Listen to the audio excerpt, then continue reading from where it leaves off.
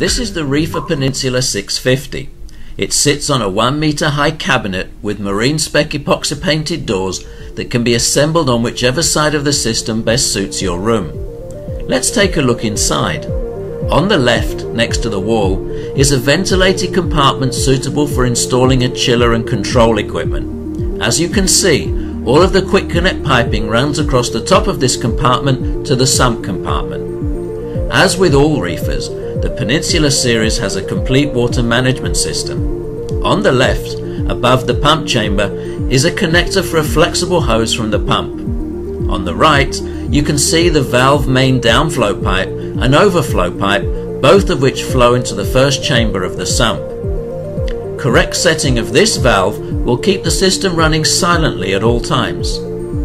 All of the water passes through a battery of 4 micron filter bags that slide out for easy access.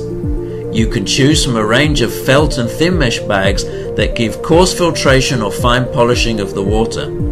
Some of the bags can also be used for filter media such as carbon. The main compartment of the Peninsula 650 sump is a spacious 59 by 51 centimeters and includes an adjustable gate at the outlet that enables the water height in the chamber to be set from 21 to 27 centimeters to best suit your specific skimmer.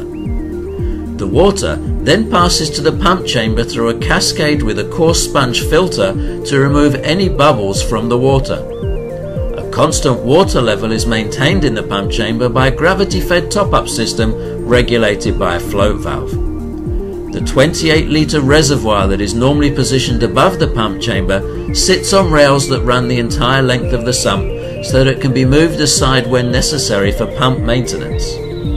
A unique feature of this sump is that it is refugium ready. It comes with a removable dividing wall for the main compartment that can be installed in one of two positions. You can decide how much of the sump you want for your skimmer and other reactors and how much for the refugium. That completes the tour of the Peninsula Cabinet and Water Management System. Thanks for watching.